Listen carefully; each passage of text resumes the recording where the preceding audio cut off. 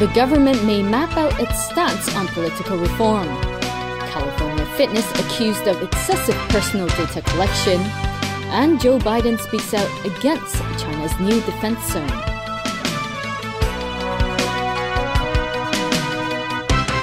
Good evening. Chief Secretary for Administration Carrie Lam said today the government may outline its stance during the public consultation on political reform. And as Jenny Lam reports, Debate rages on just how many candidates can run in the 2017 chief executive election.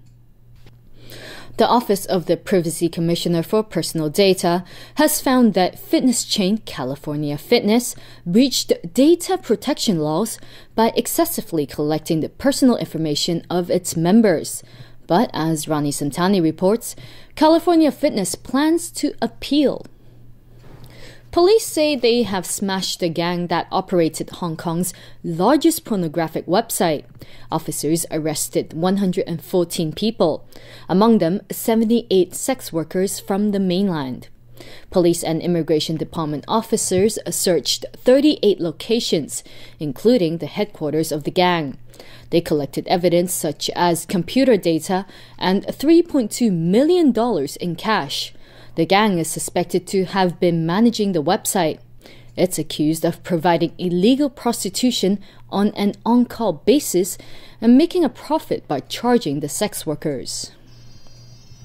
U.S. Vice President Joe Biden says China's new air defense zone over the East China Sea has caused significant unease in the region.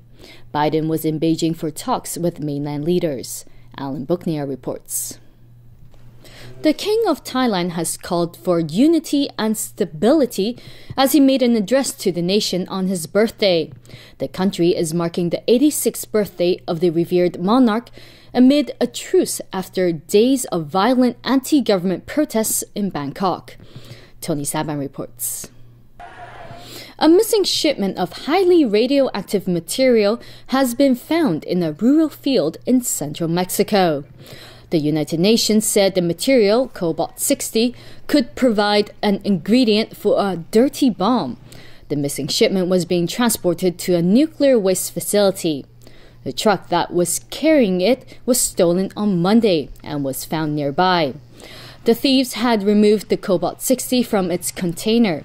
One official said anyone involved in opening the box could be in grave danger of dying within days. Authorities say they believe the ro- robbers were not after the Cobalt 60, but were probably more interested in the cargo van that had a movable platform and crane. Authorities in Argentina's second largest city have announced a steep pay rise for striking police. It follows a wave of looting and robberies across Cordoba, resulting in at least three deaths and 60 injuries. The sit in by police triggered hours of looting and vigilante mobs trying to protect their neighborhoods.